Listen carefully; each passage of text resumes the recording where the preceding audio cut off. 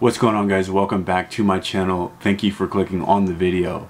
In today's video I want to talk about three different microphones that you can use for your camera that are all under $40.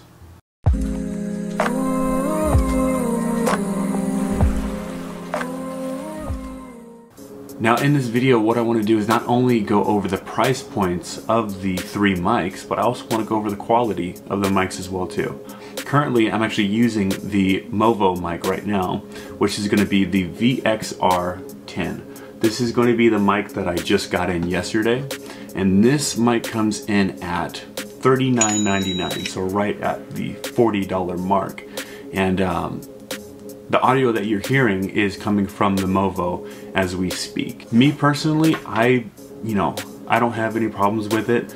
Uh, I was recording earlier and I had one of my friends with me as well too, and the audio came in, you know, crisp, very clear, um, no scratchiness, no outside noise really.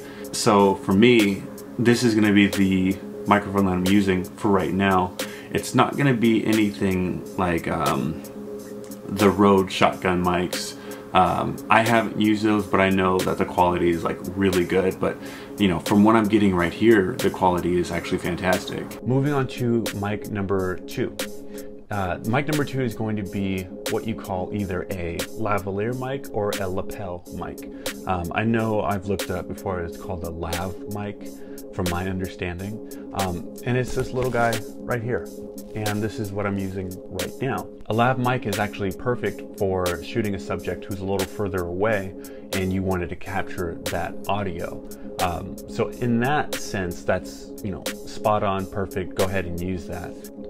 So the lav mic comes in at $22 and you can get that on Amazon, you can get that on anybody's website. Uh, all you have to do is, you know, connect it right here, run it through the cord into, you know, plug it into your phone.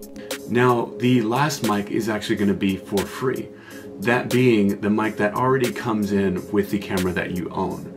Now, obviously, it's not going to be the best quality that comes out in terms of audio quality, but it's still a mic and it can still pick up uh, whatever you're trying to get in terms of audio. Now, I've used the audio on here before, uh, straight from the camera, and this camera is a Canon EOS R.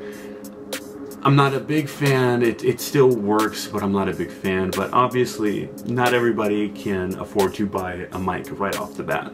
Um, so work with what you have.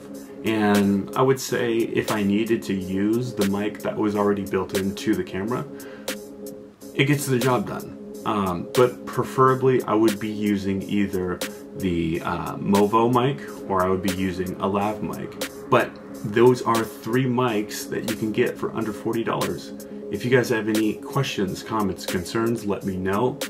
Um, other than that, thank you for watching this video and you guys have a good day.